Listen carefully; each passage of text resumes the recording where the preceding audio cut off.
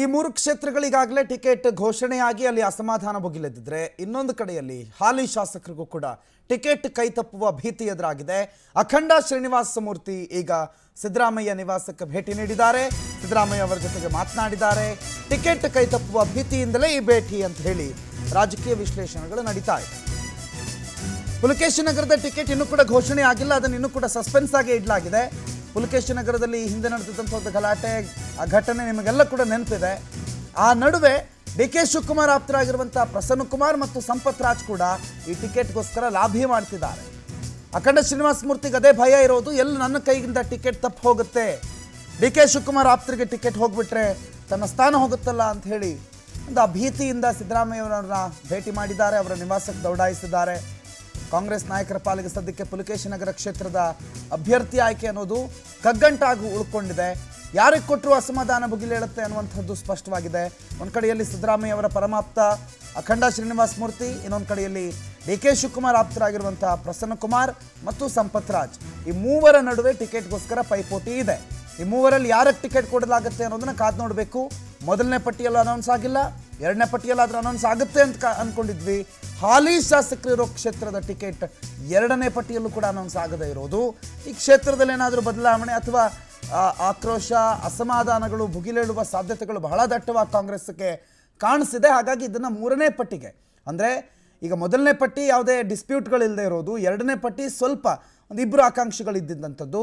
ಮೂರನೇ ಪಟ್ಟಿ ಸ್ವಲ್ಪ ಜಾಸ್ತಿ ಜನ ಆಕಾಂಕ್ಷಿಗಳಿದ್ದಂಥದ್ದು. ಹಾಗಾಗಿ ಪುಲಿಕೇಶಿ ನಗರದಲ್ಲಿ ಜಾಸ್ತಿ ಆಕಾಂಕ್ಷಿಗಳಿರೋ ಸ್ಪಷ್ಟವಾಗಿದೆ.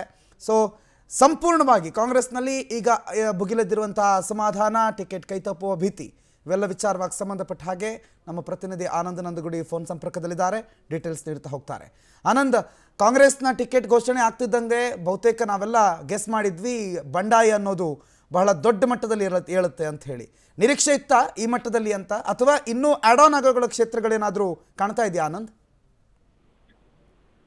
ಪ್ರಣತ್, ಪ್ರಮುಖವಾಗಿ ಪ್ರಣತ್, ಪ್ರಮುಖವಾಗಿ ಕಾಂಗ್ರೆಸ್ ಎರಡನೇ ಪಟ್ಟಿ ಬಿಡುಗಡೆ ಆಗ್ತಂತ ಒಂದು ಕಡೆ ಬಂಡಾಯ ಭುಗಿಲೆದಿದೆ ಕಾಂಗ್ರೆಸ್ನಲ್ಲಿ. ಮತ್ತೊಂದು ಕಡೆ ಮ್ಯಾಚ್ ಫಿಕ್ಸಿಂಗ್ ನಡೀತಕ್ಕಂಥ ಒಂದು ವಿಚಾರಗಳು ಕೂಡ ಜೋರಾಗಿ ನಡೀತಾ ಇದೆ ಅಂತಾನೆ ಹೇಳ್ಬೋದು. ಪ್ರಮುಖವಾಗಿ ವರುಣಾ ಕ್ಷೇತ್ರದಲ್ಲಿ ಸಿದ್ದರಾಮಯ್ಯನವ್ರಿಗೆ ಈಗಾಗಲೇ ಟಿಕೆಟ್ ಅನೌನ್ಸ್ ಆಗಿದೆ. ವರುಣಾದಲ್ಲಿ ವಿಜೇಂದ್ರ ಅವರನ್ನ ಕಣಕ್ಕಿಳಿಸಿ ಸಿದ್ದರಾಮಯ್ಯನವರನ್ನ ಹೇಗಾದ್ರೂ ಮಾಡಿ ಸೋಲಿಸಬೇಕು ಅಂತ ಬಿಜೆಪಿ ನಾಯಕರು ಬಹಳಷ್ಟು ಒಂದು ಪ್ಲಾನ್ ಅನ್ನ ಮಾಡ್ಕೊಂಡಿದ್ರು. ಆದ್ರೆ ಅಲ್ಲಿ ಯಾವುದೇ ಕಾರಣಕ್ಕೂ ವಿಜೇಂದ್ರನ ಕಣಕ್ಕೆ ಇಳಿಸೋದಿಲ್ಲ ಅನ್ನೋ ಒಂದು ತೀರ್ಮಾನವನ್ನ ಬಿ ಎಸ್ ಯಡಿಯೂರಪ್ಪ ಅವರು ಮಾಡಿದ್ದಾರೆ.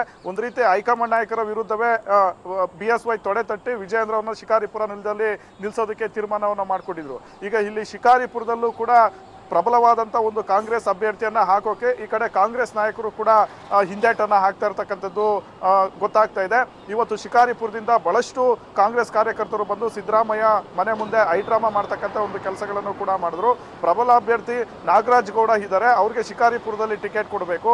ಅದನ್ನ ಬಿಟ್ಟು ನೀವು ಗೋಣಿ ಮಹಂತೇಶ್ಗೆ ಟಿಕೆಟ್ ಕೊಡೋದು ಸರಿಯಲ್ಲ ಅನ್ನೋ ಒಂದು ಮಾತನ್ನ ಹೇಳಿದ್ರು. ಜೊತೆಗೆ ಹಾಗೇನಾದ್ರೂ ನೀವು ಶಿಕಾರಿಪುರದಲ್ಲಿ ನಾಗರಾಜ್ ಗೌಡಗೆ ಟಿಕೆಟ್ ಕೊಟ್ಟರೆ ಅಲ್ಲಿ ಕಾಂಗ್ರೆಸ್ ಪಕ್ಷ ನೆಲ ಕಚ್ಚುತ್ತೆ ಅನ್ನೋ ಒಂದು ವಿಚಾರವನ್ನು ಕೂಡ ಪ್ರಸ್ತಾಪ ಮಾಡಿದ್ರು. ಇದನ್ನ ಗಂಭೀರವಾಗಿ ನೋಡೋದಾದ್ರೆ ಒಂದು ಕಡೆ ವರುಣಾದಲ್ಲಿ ಯಡಿಯೂರಪ್ಪ ಮತ್ತೆ ಸಿದ್ದರಾಮಯ್ಯ ನಡುವೆ ಏನಾದರೂ ಒಪ್ಪಂದ ಆಗಿದೆಯಾ?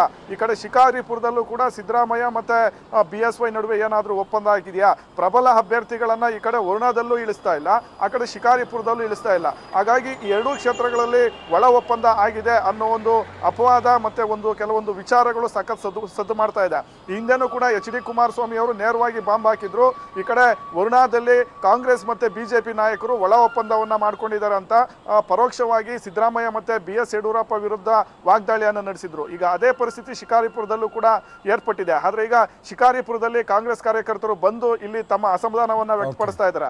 ಇದೊಂದು ಭಾಗ ಆದ್ರೆ ಮತ್ತೊಂದು ಭಾಗ ಕೆಲವು ಹಾಲಿ ಶಾಸಕರಿಗೆ ಟಿಕೆಟ್ ಅನ್ನ ಕೊಡ್ಲಾಗ್ತಾ ಇಲ್ಲ.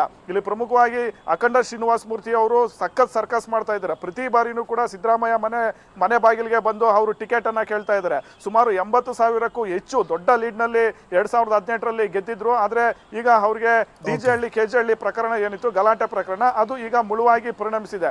ಜೊತೆಗೆ ಪವರ್ ಟಿವಿನೂ ಕೂಡ ಒಂದು ಸ್ಟಿಂಗ್ ಆಪರೇಷನ್ ಮಾಡಿತ್ತು. ಆ ಸ್ಟಿಂಗ್ ಆಪರೇಷನ್ ಅಲ್ಲಿ ಅಖಂಡ ಶ್ರೀನಿವಾಸ ಮೂರ್ತಿ ಅವರು ಹಣವನ್ನ ತೆಗೆದುಕೊಳ್ತಕ್ಕಂಥ ವಿಚಾರನೂ ಕೂಡ ಸಖತ್ ಸದ್ದು ಮಾಡಿದ್ದು. ಈ ವಿಚಾರಗಳನ್ನ ಮುಂದಿಟ್ಕೊಂಡು ಈಗ ಅವ್ರಿಗೆ ಟಿಕೆಟ್ ಕೊಡಬೇಕೋ ಬೇಡವಾ ಅನ್ನೋದು ತೀರ್ಮಾನವನ್ನ ಮಾಡೋದಕ್ಕೆ ಕಾಂಗ್ರೆಸ್ ನಾಯಕರು ಬಹಳಷ್ಟು ಒಂದು ಸರ್ಕಸ್ ಮಾಡ್ತಾ ಇದ್ದಾರೆ. ಒಟ್ಟಿನಲ್ಲಿ ಕಾಂಗ್ರೆಸ್ನಲ್ಲಿ ಕಾಂಗ್ರೆಸ್ನಲ್ಲಿ ಈಗ ಬಹಳಷ್ಟು ಒಂದು ಬಂಡಾಯದ ಜೊತೆಗೆ ಮ್ಯಾಚ್ ಫಿಕ್ಸಿಂಗ್ ನಡೀತಕ್ಕಂಥ ಒಂದು ಕೆಲಸಗಳು ನಡೀತಾ ಇದೆ. ಪ್ರಣೋದ್